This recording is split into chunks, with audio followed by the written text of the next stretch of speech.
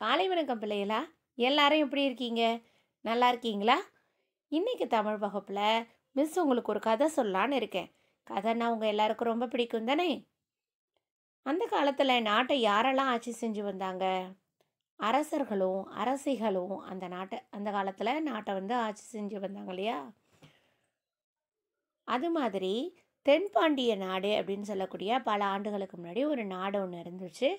அந்த நாட்டை மங்கையர்க்கரசி அப்படின்னு சொல்லக்கூடிய அரசி ஒருத்தவங்க ஆட்சி செய்து வந்தாங்க.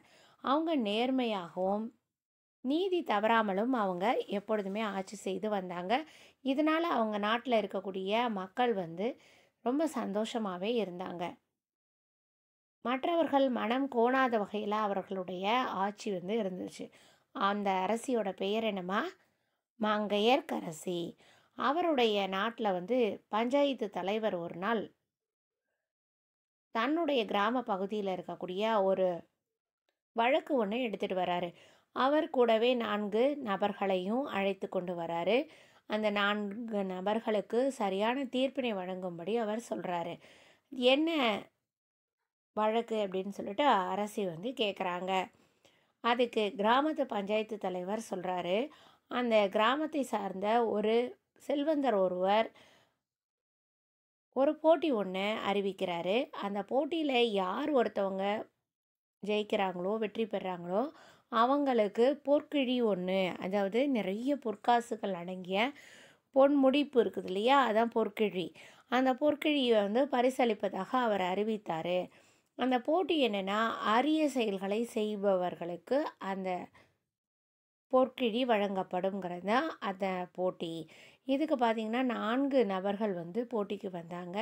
அந்த நான்கு நபர்களினுடைய போட்டியை வந்து பஞ்சாயத்து குழு வந்து உட்காந்து கேட்டாங்க. கேட்டுட்டு தீர்மானித்த பொழுது நான்கு நபர்களுமே சரியான வகையில் அரிய செயல்களை செய்திருக்கிறதா முடிவு செய்து அந்த செல்வந்தர் கொடுத்த பொற்கிழியை வந்து நாங்கள் நான்கு நபர்களுக்குமே பகிர்ந்து கொடுக்கலாம் அப்படின்னு சொல்லிட்டு பஞ்சாயத்து குழு வந்து முடிவு செய்தோம். அந்த கிராம சபையினுடைய முடிவை வந்து இந்த நான்கு நபர்களும் ஏற்றுக்கொள்ளவே இல்லை.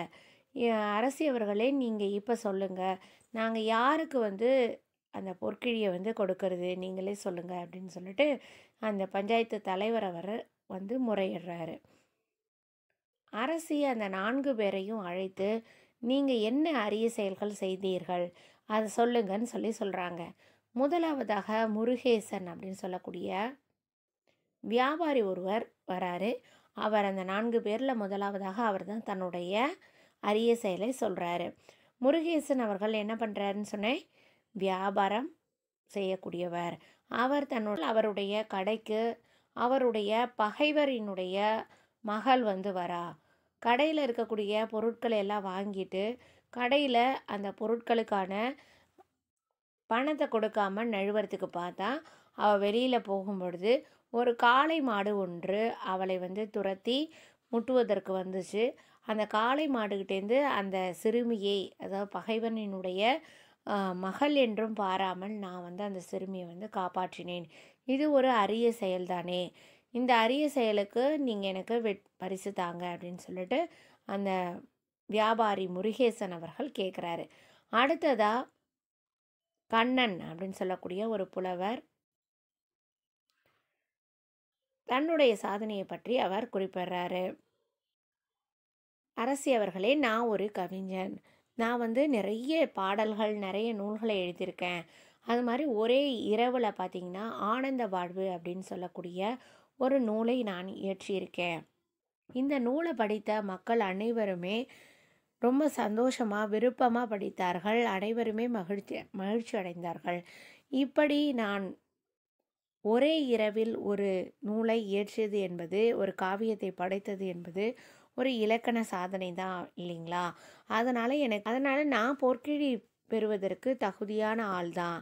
நான் ஒரு ஆள் தான் அந்த வெற்றி பெற்றவன் அப்படின்னு சொல்லிட்டு அவர் தன்னுடைய தரப்பில் எடுத்து சொல்கிறாரு எடுத்து சொன்னது யார்?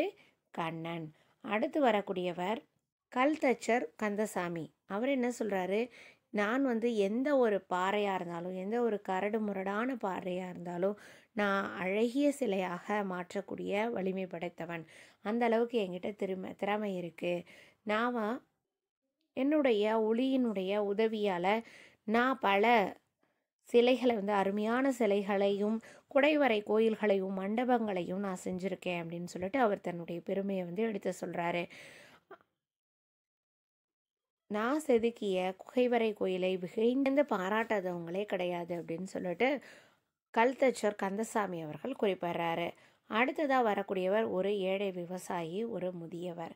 அவர் வராரு அரசி முன்னாடி வந்து தன்னுடைய சாதனையை எடுத்து சொல்கிறாரு அவர் தான் ஒரு ஏழை விவசாயி என்றும் தன்னுடைய மனைவி இறந்த பிறகு தன்னுடைய மகளும் நானும் சேர்ந்து தனக்கு சொந்தமான ஒரு காணி நிலத்தில் வந்து பாடுபட்டு உழவு செய்து வருகின்றோம். இந்த வருடம் பார்த்திங்கன்னா கடந்த ஆண்டை விட நான் இந்த வருடம் மூன்று மடங்கு விளைச்சலை வந்து நான் ஏற்படுத்தியிருக்கேன். உழவு செய்து கடுமையான உழைப்பின் காரணமாக நான் வந்து மூன்று மடங்கு விளைச்சலை வந்து ஏற்படுத்தியிருக்கேன். இது எல்லா இது ஒரு சா மிகப்பெரிய சாதனை தானே.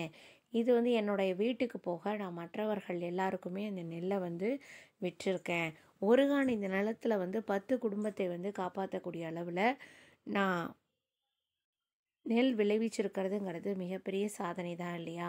அதனால் நான் தான் வந்து அந்த அரிய சாதனை செய்தவர் பொற்குழி வந்து எனக்கு தான் கிடைக்கணும் அப்படின்னு சொல்லிட்டு அந்த முதிய ஏழை விவசாயி வந்து குறிப்பிட்றாரு.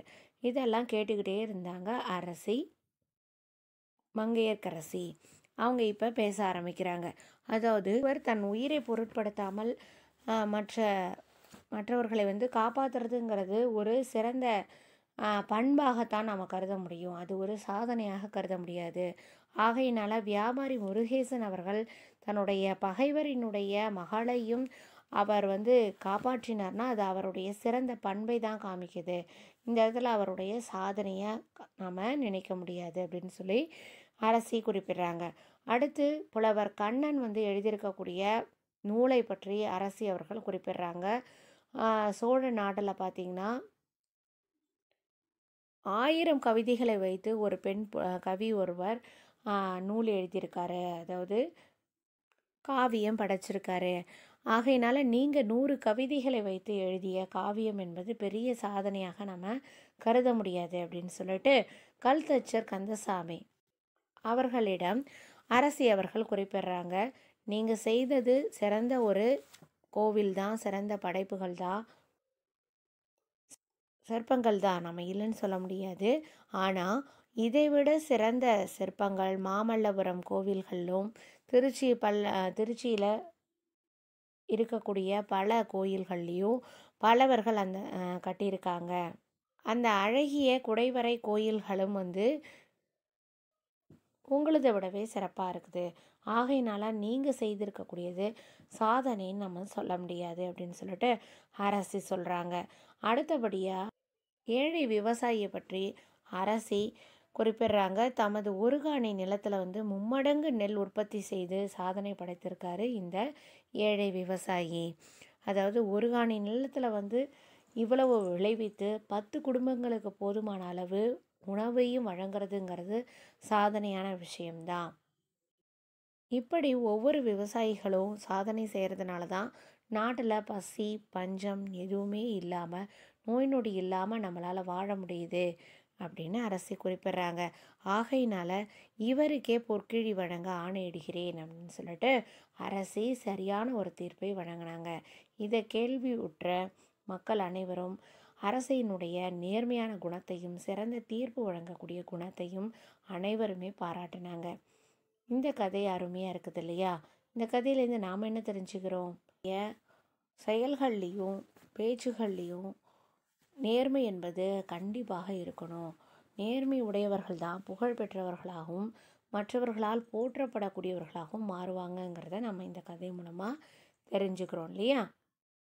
சரி இந்த கதையினுடைய பயிற்சிகளையும் இந்த கதையை எப்படி வாசித்து பார்க்கலாம்? இது ஒரு துணைப்பாடம். நம்முடைய நே நேர்மை நிறைந்த தீர்ப்பு அப்படின்னு சொல்லக்கூடியது நம்முடைய இயல் ஆறில் இருக்கக்கூடிய துணைப்பாட பகுதி தான்.